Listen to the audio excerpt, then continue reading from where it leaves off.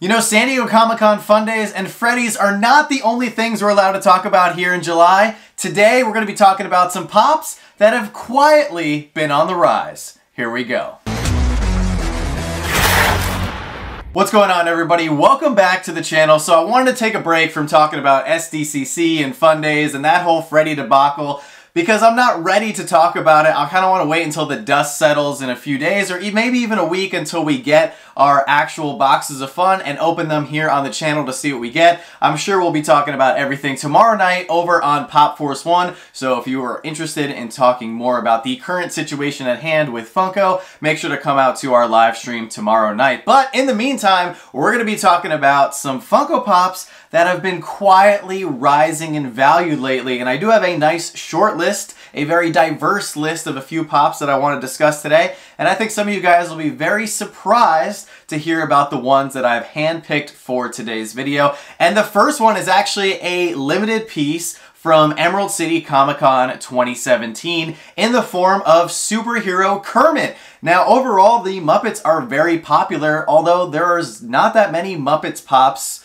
in general. In fact, there's actually only three Kermit pops, four if you include the Jim Henson pop holding Kermit, but I think most people would not consider that an official Kermit pop. This pop, like I said, was an exclusive, limited only 3,000 pieces, and up until the beginning of last year, it was pretty affordable, trending around that 40 to $80 price range, fluctuating a little bit, and then boom, the middle of last year, it spiked and currently is trending at $130. This is a unique one that I could actually see rising even more in value because I don't foresee them making any new Muppets Pops anytime soon. I would really love to see some Muppet Sodas, but in the meantime, if you want this one, you're gonna have to shell out well over $100 for this now Muppet Grail. Next up, we actually have a character from the Marvel Universe, and this is a pop that I actually need to pick up for my own collection, and this one is the Walgreens exclusive Silk. Now, some of you guys might be scratching your head wondering who Silk is, and she's actually from the Spider-Man side of the Marvel Universe, and she was actually bitten by the very same spider that gave Peter Parker his powers. So not only did that spider bite him, it then went on to go bite Cindy Moon in the ankle to give her her powers. Now, this is the original one. They did make two Silk Pops, but this is the first Walgreens exclusive version of this pop, and this was dirt cheap for a long time. It was coming in around anywhere from 5 to $10, really up until the, the ending of 2021, and then moving into 2022, it spiked a little bit, but now, here in 2023, it is currently trending for $36. Couple interesting things with this one when talking about Silk. Despite Across the Spider-Verse being immensely popular and having dozens, if not hundreds, of Spider family characters, Silk was actually one of the few characters not in that movie, which leads us to believe she could be coming in the third installment of the movie, or they could just be saving her for a live action project and they don't want to involve her in the Miles Morales side of things. I would love to see her in the MCU someday, especially because at one point in the comics, she was actually dating the Human Torch, aka Johnny Storm, and we know we have yet to see the Fantastic Four in the Marvel Cinematic Universe, so this one could be a very good one to pick up before it gets even more expensive, but at the moment, it's trending for a little over double retail, coming in at 36 bucks. So now we're going to be switching things up, moving from Marvel to my favorite universe to talk about, and that, of course, is Star Wars. And unless you're living under a rock in the Star Wars community, most of you guys, like me, are probably very excited for the brand new Ahsoka series that's going to be premiering at the end of August. And the pop that's actually been going up in value, probably thanks to the Ahsoka trailer,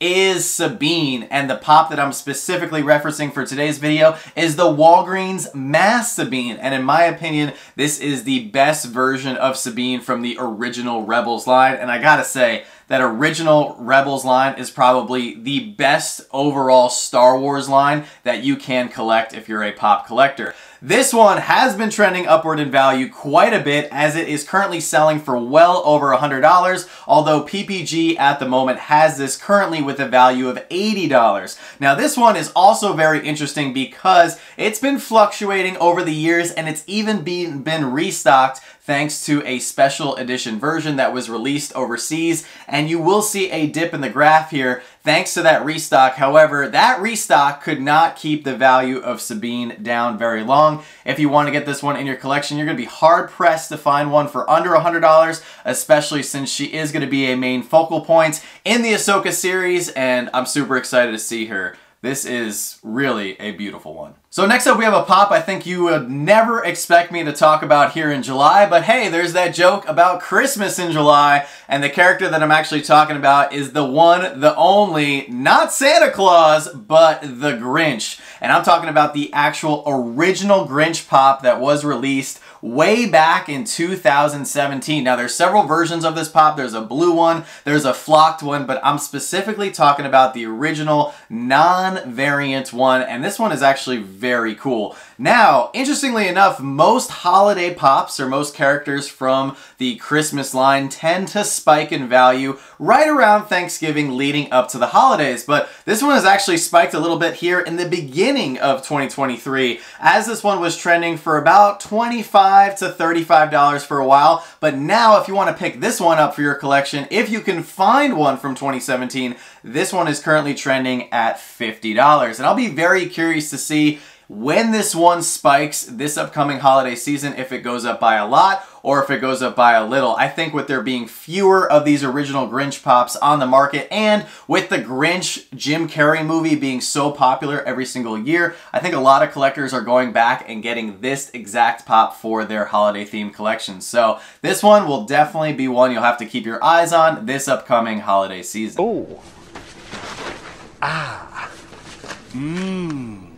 That's it, I'm not going. So this next pop that I'm going to be talking about for today is pretty much the definition of slow and steady wins the race. And the one that I'm currently talking about is the Jackalope, which was a Funko Shop exclusive from the Myths line. Now this one was actually released in December of 2019 and overall, there hasn't been a lot of movement in the Myths line, except as of late. Recently at Fun Days, they actually released those 6-inch Bigfoot pops that were pretty limited, coming in at only 850 pieces. Prior to that, we hadn't gotten a Myths pop in quite some time, with the exception of the green blacklight Bigfoot pop, which is a cool one, but pretty much just a blacklight version of a Bigfoot mold that they've already made several times. So pretty cool to see this jackalope finally starting to really make a dent in the marketplace here, as this one, like I said, has slowly but surely been rising ever since its release, really going up by $5 here, $10 here, and it's currently trending for $55, which I think is a great sign to see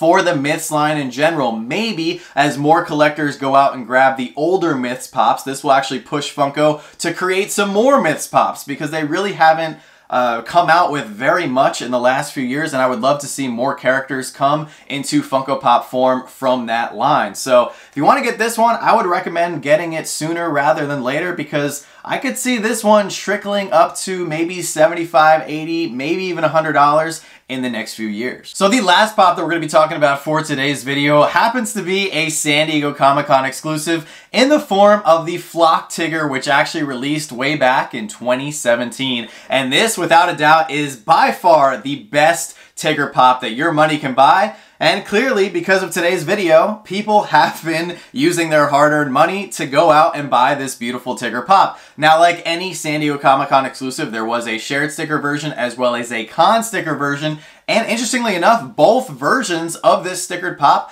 have been going up in value. The shared sticker version is currently trending for $105, which is great to see for a shared sticker non-numbered exclusive piece. And the con sticker version of this pop is coming in at $170, and there's actually been some recent sales of this pop in the range of $180 to $190. And with this pop, for whatever reason, being so hard to find just in general, I know we recently picked it up in a collection for our personal collection, but we've been try trying to track this one down for years. I definitely see the con sticker version of this pop breaking that $200 barrier very, very soon. They haven't made that many Tigger pops. They have made another flocked one in the form of a Christmas version, but outside of that, they really just haven't made a lot of them. So I truly think that this is the best Tigger pop. I love the mold where he's actually bouncing on his tail. Very iconic to the character. So overall, Funko really just did a great job with this particular exclusive. So that's going to do it for today's Pops on the Rise video, guys. Let me know down in the comment section below if you've noticed any other pops currently in your collection trending upward in value. I'd love to hear your thoughts and some more about your personal pops from your collections